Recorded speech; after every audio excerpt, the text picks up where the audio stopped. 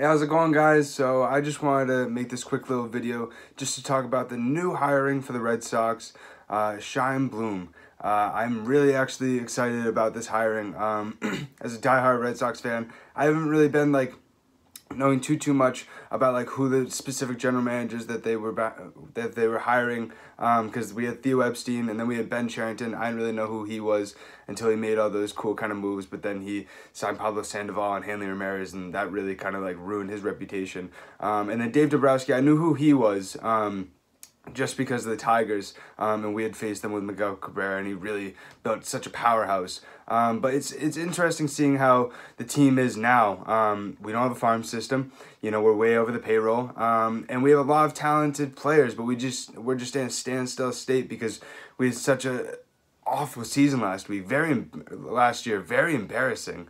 Um, I actually really want to make a video talking about what I believe the offseason needs are for the Red Sox. I'm probably going to do that with a lot of the other teams that I believe have a lot um, to work on this offseason. I'm really excited for that video. Um, but in this video, I just want to talk about uh, Chaim Bloom. Um, he was the vice president of baseball operations for the Rays, uh, and I really think that that will be able to help the Red Sox out a lot um, because he was able to work with a low payroll.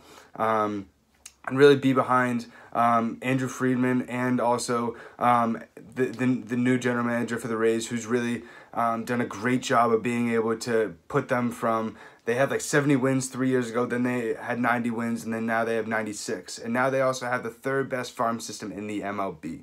And so if this guy's able to figure out what we should do with Mookie Betts and also be able to get some productive players if we're able to um, for a trade for Mookie Betts, I believe he's the most trusted person that I would want um, to be able to run our, our franchise uh, for this next pivotal offseason for the next future five years. You know, I, I feel like that um, this offseason is really going to um, give us a screenshot of what's going to be happening for the next five years because, you know, we have David Price, we have Sale, then we have Eovaldi at the top of our rotation uh, for the next five years. And then same with Xander, he's there with us.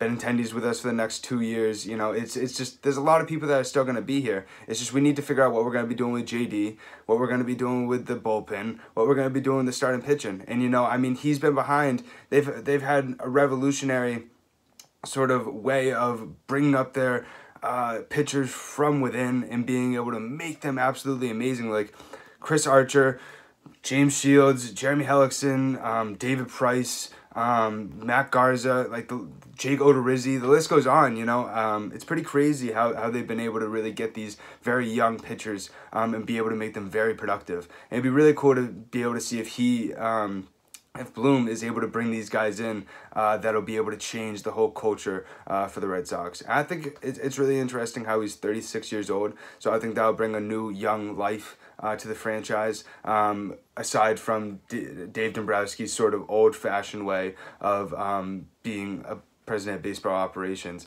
Um, the one thing that I am kind of nervous about is how he's going to be able to um, control himself from spending a lot of money. You know, Ben Cherington, you saw it with him, with Pablo Sandoval and with Hanley Ramirez, you know, we were really, and also Rusney Castillo. Uh, we, were, we were stuck with those 10 to 15, 20 million dollar contracts uh, that really weighed us down for like um, our flexibility on what we would be able to do on different off seasons. Uh, so let me know what you guys think about this hiring. I'm really excited about it.